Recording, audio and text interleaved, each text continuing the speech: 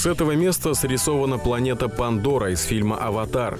Площадь этого уголка планеты 13 тысяч квадратных километров. На этой территории обитает более 500 видов животных. Именно здесь находится гора Тяньмэнь, самой высокой природной аркой в мире. Небесные врата, как ее называют китайцы, высотой 131,5 метр. Сверхточно измерили и высоту самой горы – 1518 метров и 60 сантиметров.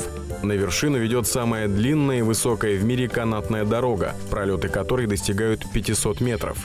Здесь находится деревня Желтого Льва. В ней проживают представители трех малых народностей – Тудзя, Бай и Мяо.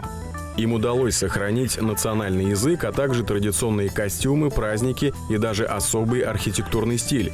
В этом месте произрастает 770 видов растений, причем некоторые встречаются в дикой природе исключительно в этом месте. Это Чваньцядзе, старейший национальный парк Китая и объект всемирного наследия ЮНЕСКО.